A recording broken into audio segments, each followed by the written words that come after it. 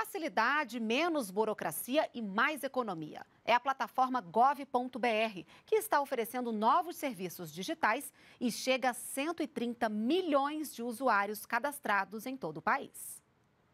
Mais de 130 milhões de brasileiros já utilizam o sistema gov.br, o que equivale a 80% da população acima de 18 anos. O gov.br facilitou a vida da Janaína. Ela solicitou o seguro-desemprego por meio do aplicativo. Não precisei em nenhum momento estar me deslocando para uma agência do trabalhador ou uma agência da Caixa. E uma novidade já implementada nos estados da Bahia e de Goiás é que agora é possível fazer o recadastramento digital para a prova de vida do INSS no aplicativo gov.br.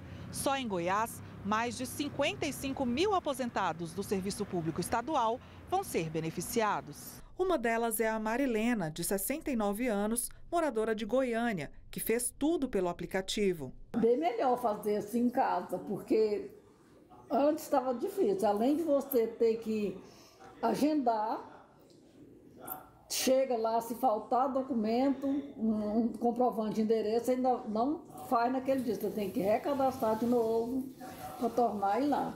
A prova de vida digital é feita de forma rápida, por meio de uma ferramenta chamada reconhecimento facial. Basta acessar o ícone prova de vida e pronto. O usuário faz o reconhecimento facial de forma gratuita e não precisa se deslocar mais para comprovar vida. O aplicativo também facilitou o preenchimento das declarações do Imposto de Renda 2022.